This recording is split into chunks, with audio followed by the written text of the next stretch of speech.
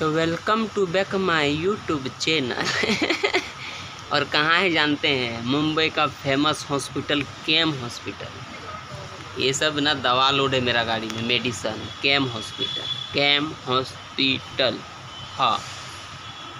ये देखिए देख सकते हैं। ये सब मेडिसन आया है। इमरजेंसी एक्साइज इधर गाड़ी पार्किंग करने का नहीं है। लेकिन हम लोग मेडिसन डिलीवरी देंगे ना तो हम लोग आ सकते हैं इधर। बहुत बड़ा हॉस्पिटल है ये। उस सब में डॉक्टर लोग रहता है सब में। और हम लोग पीछे से दवा डिलीवरी देता है। K M hospital K M hospital.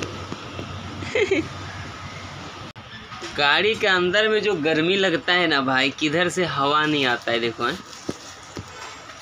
तो देख सकते हैं, हम केम हॉस्पिटल से खाली करके निकल रहे हैं।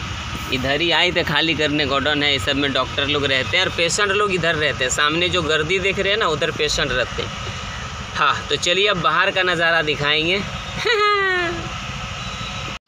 केम हॉस्पिटल से आ गए, ये बड़ा गाड़ी यहाँ लगा दिए और इसका जो छोटकी बहन है, चुनमुनिया, देखिए उधर साड़ी पहन के है। हाँ वही को लेके जाना है डिलीवरी में। तो बने रहिए भैया जी, राजा जी, दोस्त, मित्र मेरे। और बड़े बड़े बिल्डिंग सब देख के हमें बड़ा डर लगता है कि कहीं गिर ना जाए सर के ऊपर। का समझे राजा जी?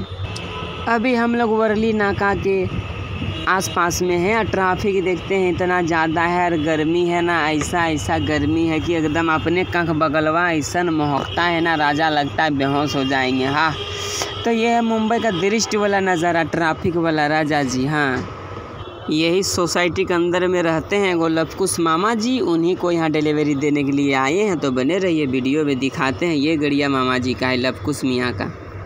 अभी हम आ गए हैं नायर हॉस्पिटल का इधर। और देखते हैं, कैसा कैसा बाप लोग मेहनत मशक्क़त करता है हाथ गाड़ी लेके। ओ, चाचा अभी आ गए हैं हम लोग लोअर परेल में। देख सकते हैं यहाँ से राइट मार के अभी हम सीढ़ी जाने वाले हैं लाल बाग होते हुए। बारिश हो रही है और बड़ा लेट हो गया।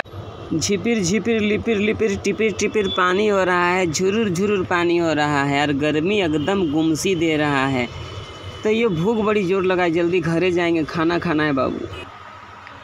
फाइनली घर आ गए दाल भात भिंडी का भुजिया खा रहे हैं। आज बहुत ज़्यादा लेट हो गया डिलीवरी में, बहुत ज़्यादा।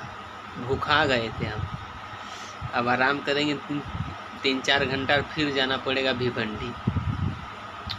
हाँ। इतना काम करना पड़ता है।